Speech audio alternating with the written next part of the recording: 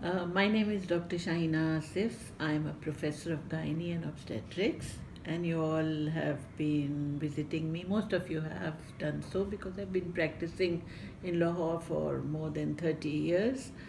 Um, I qualified from Fatima Jinnah Medical College and then I went abroad and I did my further uh, training and uh, I completed my studies from the Royal College of London. So I'm a fellow of the Royal College of London. The Obstetricians and Gynecologists College is a very prestigious institute, and all over the world, uh, its uh, members are spread.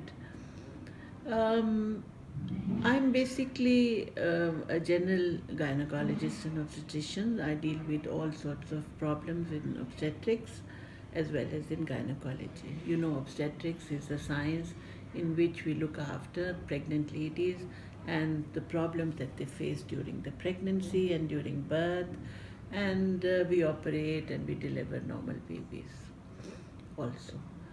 Um, uh, then in the gynecological part we deal with uh, four or five segments mainly. One is infertility, the other is bleeding disorders, tumors of the genital tract and also other related problems to the female um, uh, uh, in, in particular. So um, the services we have, we have most of the services in um, Surgimed Hospital. Our infertility center is outside the hospital, but part of it is still inside the hospital.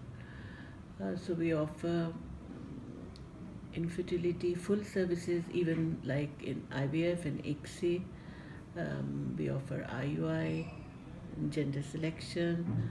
Uh, then um, my interest is in oncological surgery as well.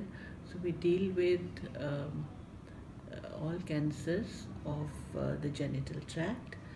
And uh, I did work in Shaukat Khanum for a period of time. And um, now I'm just working at Surgimed Hospital. Uh, the other part we deal with is uh, women suffer from a lot of menstrual irregularities, heavy periods, they stop their period sometimes, sometimes they have infections, they have endometriosis. Whatever the problems are, you need a consultation. So don't self-treat yourself because self-treating is not a very good thing because sometimes you think even you have a small minor discharge um, and you might think it is just nothing. But sometimes a minor discharge is an indication that you have a cancer of cervix and you know that cancer of cervix is very common amongst younger women.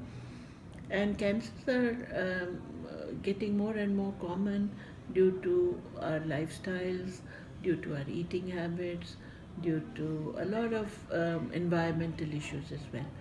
So we should not take life uh, i think i correct myself to say that we should take life seriously. We should take our health seriously because if you look after your health uh, when while you're younger then you will age properly and you will not have the problems a lot of aging women have. So i hope to see you through marham. And if you want to take an appointment you can call them. They will arrange an appointment for you. I assure you that the waiting time will not be as much as when you come to me directly. But uh, we deal with human beings, so sometimes you have to wait. Otherwise, I'm there for you. So I'll see you.